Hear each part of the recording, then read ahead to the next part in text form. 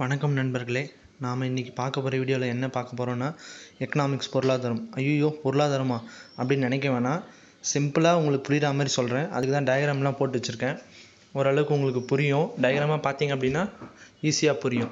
இந்த repo rate repo rate அப்படின்ட்டு ரீசெண்டாக இப்போ கேட்டிருப்பீங்க. ஒரு வாரமாக அதை பற்றி பொதுவாக மார்க்கெட்டில் இருக்கிறவங்களும் சரி பொதுவாக நியூஸ்லையும் சரி ரெப்போ ரேட்னா அப்படின்னா என்ன? அப்படின்னு சொல்லிட்டு நம்ம இதில் பார்க்கலாம். மொத்தம் மூணு டைப் ஆஃப் ரேட்ஸ் இருக்குது repo rate call money rate reserve repo rate so இது மூணு ரேட்டும் யாருக்கு எதுக்குள்ளே அப்படின்னு சொல்லிட்டு பார்த்தீங்க அப்படின்னா பொதுவாக ஒரு பேங்க்கு ஓப்பன் பண்ணணும் அப்படின்னா எல்லா கண்ட்ரிலையுமே பார்த்தீங்க அப்படின்னா ஒரு ஹெட் பேங்க் ஹெட் ஆஃபீஸ் மாதிரி இருக்கும். ஸோ நம்ம இந்தியாவுக்கு பொறுத்த வரைக்கும் என்ன பேங்க் பார்த்தீங்கன்னா ரிசர்வ் பேங்க் அப்படின்னு சொல்லிட்டு சொல்லுவாங்க. இதே வந்து அமெரிக்காக்கெலாம் போனீங்க அப்படின்னா அமெரிக்காவுக்கு தனியாக வந்து அவங்களுக்குன்னு ஒரு பேங்க் இருக்கும். So depends upon every countries ஒரு ஹெட் ஆஃபீஸ் பேங்க் மாதிரி இருக்கும். ஸோ இந்த பேங்க் தான் வந்து இந்த ரெப்போ ரேட் அப்படின்றத வந்து வெளியிடுறது. எவ்வளோ பர்சன்டேஜ் வட்டி அப்படின்றது. இதில் யார் யார் பெரும்பாலும் இருப்பாங்க அப்படின்னு பார்த்தீங்கன்னா நார்மல் பேங்க்ஸ் பார்த்தீங்கன்னா ஐசிஐசிஐ ப்ரைவேட் பேங்க்ஸு எல்லா பேங்க்ஸும் இவங்க ப்ளஸ் ரிசர்வ் பேங்க் இவங்கெல்லாம் சேர்ந்து வர்றதுலாம் தான் பார்த்தீங்க அப்படின்னா repo rate call money rate reserve repo rate குழப்பற மாதிரி இருக்கா? ஒன்றும் இல்லை. தெளிவாக சொல்கிறேன் பாருங்கள் ரெப்போ ரேட் அப்படின்னா என்ன அப்படின்னு பார்த்தீங்க அப்படின்னா Reserve Bank Reserve Bank normal for an example நான் இங்கே ஐசிஐசியும் சிட்டி யூனியன் பேங்க் எடுத்து வச்சுருக்கேன். ரிசர்வ் பேங்க் கையில் வந்து பார்த்தீங்க அப்படின்னா ஐசிஐசிஐ பேங்க்கு இல்லை சிட்டி யூனியன் பேங்க் இல்லை சிண்டிகேட் ஏதோ ஒரு எக்ஸ்ஒய் பேங்க் வந்து uh, டெம்ப்ரவரியாக வந்து ஃபண்டு வேணும் அப்படின்னா அவங்க வந்து ரிசர்வ் பேங்க் கிட்ட கா கேஷ் வந்து கேட்பாங்க. ஸோ ரிசர்வ் பேங்க்கும் அந்த ஃபண்டு தரும். ஃபண்டு தரணும் சும்மா தர மாட்டாங்க இல்லையா? அதுக்கு தான் இன்ட்ரெஸ்ட்டு அந்த இன்ட்ரெஸ்ட் தருது பாருங்கள் அதுதான் வந்து ரெப்போ ரேட் அப்படின்னு சொல்லுவாங்க. சிம்பிளாக சொல்லணும்னா normal banks borrow from RBI ஆர்பிஐனா Reserve Bank of India so அதுதான் வந்து பார்த்திங்க அப்படின்னா இப்போ ரீசெண்டாக லாஸ்ட் வீக் தான் வந்து மீட்டிங் கூட முடிஞ்சுது. பார்த்திங்கன்னா அஞ்சு ரூபா நாற்பது காசு. ஸோ இப்போ ஒரு பேங்க் வந்து பார்த்தீங்கன்னா நார்மல் பேங்க்கு ரிசர்வ் பேங்க் கிட்ட கேஷ் கேட்டாங்க அப்படின்னா அதுக்கு வந்து நூற்றுக்கு அஞ்சு ரூபா நாற்பது காசு வட்டி போட்டு நார்மல் பேங்க் வந்து ரிசர்வ் பேங்க்குக்கு தரணும்.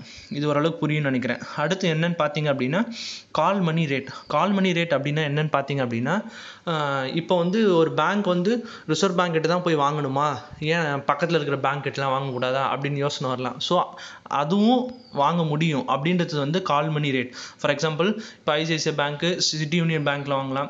இல்லை City Union bank Axis bank so அந்த மாதிரி இன்டர்மீடியட் பேங்க்குள்ளேயே ஃபண்டு தேவைப்படுது அப்படின்னா அவங்களுக்குள்ளேயே அவங்க வாங்கிக்கலாம். ஸோ அதுக்கு சம் பர்சன்டேஜ் இருக்கும். இது எல்லாமே பேசிக்ஸ் எதில் வந்து பர்சன்டேஜ் கால்குலேட் பண்ணுறாங்கன்னா ரெப்போ ரேட்டை வச்சு தான் இந்த கால் மணி ரேட்டு வந்து இந்த கால் மணி ரேட்டை வந்து ரிஸ் ரெப்போ ரேட்டை வச்சு தான் இந்த கால் மணி ரேட்டும் கால்குலேட் பண்ணுவாங்க. அடுத்தது reserve repo rate reserve repo rate என்னன்னு பார்த்தீங்க அப்படின்னா சம்டைம்ஸ் ரிசர்வ் பேங்க்குக்கே வந்து காசு தேவைப்படும்.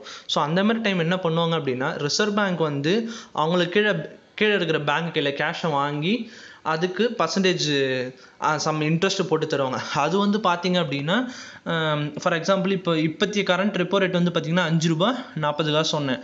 அதுவே ரிசர்வ் ரெப்போ ரேட் வந்து பார்த்தீங்க அப்படின்னா அஞ்சு ரூபா பத்து காசு இல்லை பதினஞ்சு காசு அப்படி தான் இருக்கும். பார்த்தீங்களா இதுக்கும் இதுக்கும் வித்தியாசம். அவங்க காசு தராங்க அப்படின்னா அஞ்சு ரூபா நாற்பது காசு அதாவது ரிசர்வ் பேங்க் ஆனால் ரிசர்வ் பேங்க் காசு வேணும்னா ரிசர்வ் பேங்க் வந்து நான் அஞ்சு ரூபா பத்து காசு பதினஞ்சு காசுக்கு தான் தருவேன் அப்படின்னு சொல்லிட்டு சொல்கிறாங்க இன்னும் புரியலைங்களா? சிம்பிள் நம்ம இப்போ ஃபிக்ஸ்டு டெபாசிட்டில் காசு போடுறோம் பேங்க்கில் அப்படின்னா நம்மளுக்கு வந்து பேங்க் வந்து பார்த்திங்கன்னா பேஸ்ட் ஆன் பேங்க்ஸ் படி பார்த்திங்கன்னா ஃபைவ்லேருந்து நைன் பர்சன்டேஜ் தரும். அதுவே நம்ம பர்சனல் லோன் எடுக்கிறோம் அப்படின்னும் போது அவங்க நம்மளுக்கு பேங்க்கில் வந்து பார்த்திங்கன்னா பத்துலேருந்து பன்னெண்டு பர்சன்டேஜுக்கு மேலே போட்டு தருவாங்க. ஸோ அதே மாதிரி கால்குலேஷன் தான் இது. வேறு ஒன்றும் இல்லை. ஸோ இந்த வீடியோ பிடிச்சிருந்தா லைக் பண்ணுங்கள் சப்ஸ்கிரைப் பண்ணுங்கள் கீழே டெலகிராம் சேனல் இருக்குது ஸோ அதுலேயும் ஜாயின் பண்ணி நீங்கள் ஃபர்தராக daily day day to day updates வேணும்னா நீங்கள் தெரிஞ்சுக்கலாம்.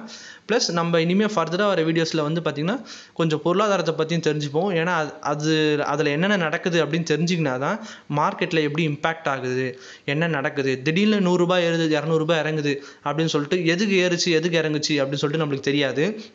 அந்த நாலேஜை வளர்த்துக்கிறதுக்கு நம்ம இந்த மாதிரி ஒரு சில பொருளாதாரத்தில் ஒரு சிலது எக்கனாமிக்ஸில் ஒரு சிலது மட்டும் பார்க்கலாம்.